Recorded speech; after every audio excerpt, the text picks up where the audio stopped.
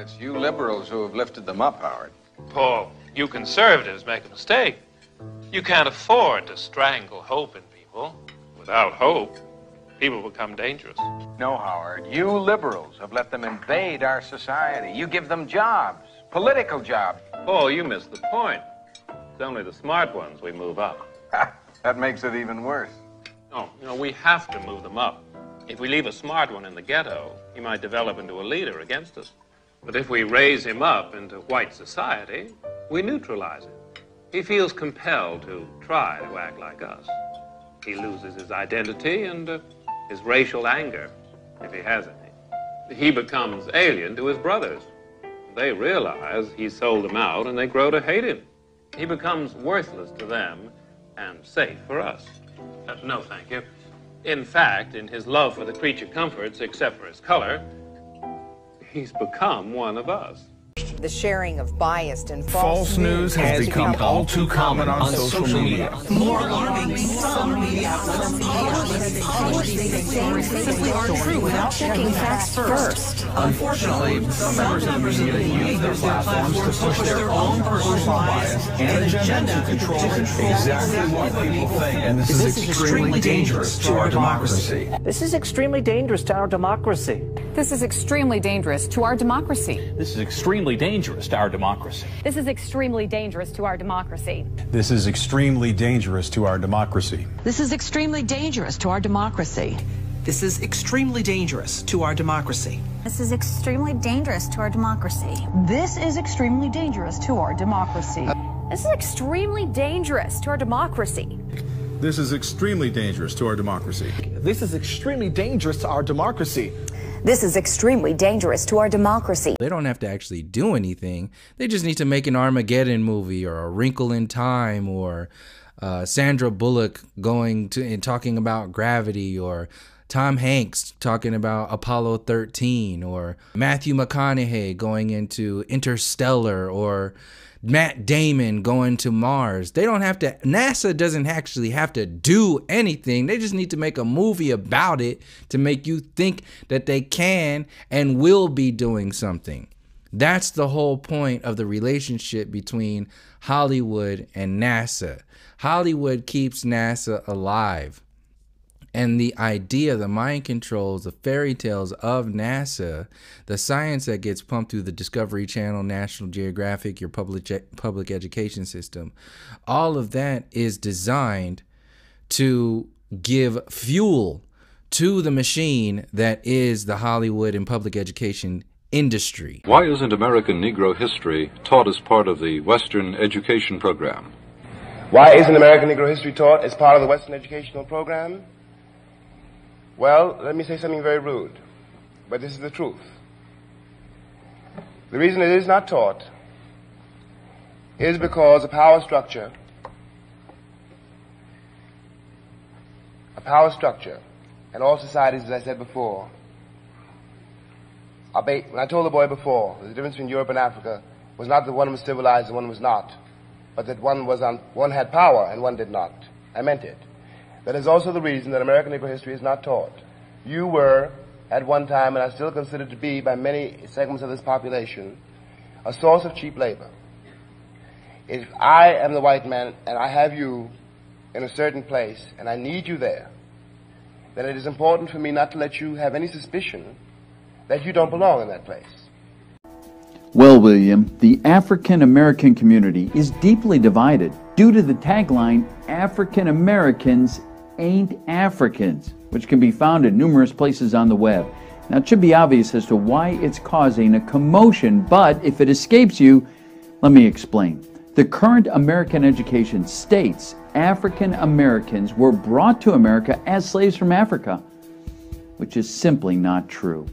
They are American indigenous, not descendants of Africans. As they say, the truth is stranger than fiction. Although this fact isn't spoken of openly, it's not a secret. However, with programming such as Roots, 12 Years a Slave, The African American Story, and The Book of Negroes, is it any wonder why so many African Americans are confused? We won't address all the misleading DNA tests being provided to connect African Americans to Africa. Black, and I'm black, y'all, and I'm blacker than black, and I'm black, y'all, and I'm black, y'all, and I'm black, y'all, and I'm blacker than black, and I'm black, y'all. I'm blickety black, blacker than black. I'm here because I can't stand what's happening in this community. Yes. Yeah, and somebody has to make a change. Yes. Now, brother, will you help me? Yes. Well. Basically, this movie premiere and this movie is nothing but nigga Halloween, where you motherfucking niggas is dressing up like some fucking little hoe ass motherfucking children and going to see a movie and making a big deal about a movie, but don't even have the mentality to comprehend what the movie is telling you. And you're going in there eating all that shit that's closing your third eye. So you're just a dumb motherfucker in there watching some shit and you're watching explosions and fighting and you just see black people and that's all you know. And you want to know why we're in the position we're in. That's why we're in the position we're in because you all ain't about nothing.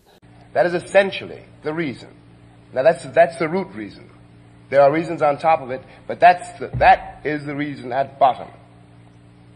You see what I mean? Now, if I were your teacher, I would ask you to do me a favor and insist that you appear in those textbooks, even if, even if they had to burn all the textbooks which now exist. I would insist on it if I were you, for my sake, as well as for yours.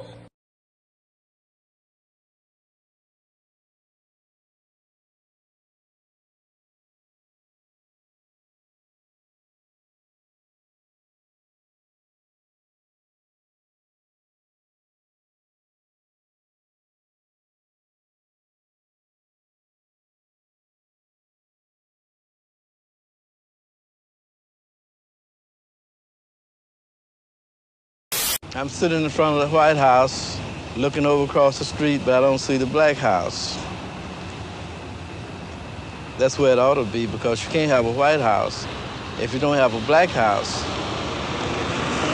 In fact, you can't have anything unless you have a comparison. Well, you know, your music, where do you get your inspiration to compose it?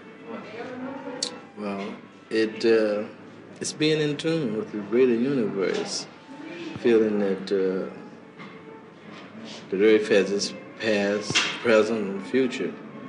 But my music actually is reaching outward, uh, not being a part of the past, or the present, or the future, uh, but rather what I call an altered destiny, because I'm dealing with equations, and like most people feel that uh, the planet is doomed anyway. Yes, yes. When people do that, they they are reacting to a something is beginning to crack. People hoard all this because they don't have anything else, but they don't really believe in it, you know, and they kill to get it. But that that proves the moral bankruptcy, which translates itself into the actual bankruptcy of the world in which we live. We have yet to understand that if I am starving, you are in danger. Mm. People think that my danger makes them safe. They're in trouble. It is clear to me, it's clear to many, that what we call the political vocabulary of this age cannot serve the needs of this age. You know, that we will have to find a way to get beyond our crippling habits. This is not the 19th century. Queen Victoria is long, long dead and Europe is no longer the center of the world. Everything that is a part of this so called new world, this Columbian era, this colonial mindset, it's all designed to um, keep itself up and keep you down and keep it keep evolving through you thinking things are getting better. So as long as you are asking the slave master to change and asking the slave master for whatever it is that that you think is what you need in order for things to really change it'll give its version of that to you. This is a good example of that was the civil rights act.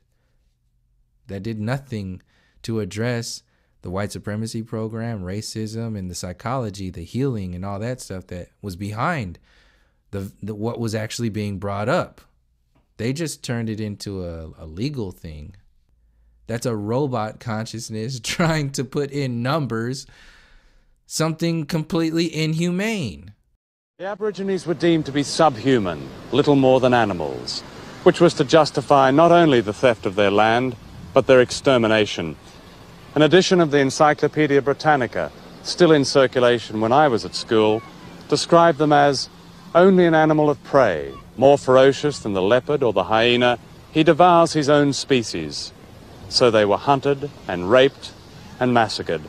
And few doubted at the time that genocide was official policy. A government report in the 1850s spoke of the success of poisoning Aborigines, 100 of them laid out at a time. But until quite recently, little of this was even acknowledged. In Tasmania, the Aborigines were said to have died out. In fact, they were hunted along with kangaroos and almost wiped out. In New South Wales, by 1845, the tribe who had watched Captain Cook sail here into Botany Bay was reduced to three women and a man.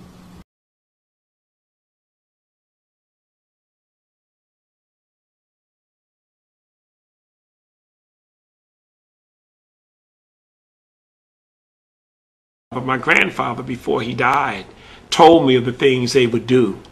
He said he would go down. He said his grandfather said they would go down and they would take babies with them. I said, What do you mean, babies? He says, Well, let me tell you. He said the slave babies, the slaves who had babies, they would steal the babies during the course of the day, sometimes when the mothers weren't washing. I said, What do you mean, babies? I said, You mean babies like five or six years old? He says, No. These babies, some would be infants, some would be a year old, he said some would be toddlers. He said they would grab these children and take them down to the, the swamp and leave them in pens like little chicken coops. In Victoria, an Aborigine called old Mr. Burt recalled this story told by his mother. They buried our babies with only their heads above the ground. All in a row they were. Then they had a test to see who could kick the babies' heads off the furthest. One man clobbered a baby's head off from horseback. They then spent most of the day raping the women. Most of them were then tortured to death by sticking sharp things like spears up their vaginas until they died. They tied the men's hands behind their backs, then cut off their penis and testicles, and watched them run around screaming until they died. One of the most enduring myths about the Aborigines is that they did not fight back. In fact, a war of resistance lasted more than a century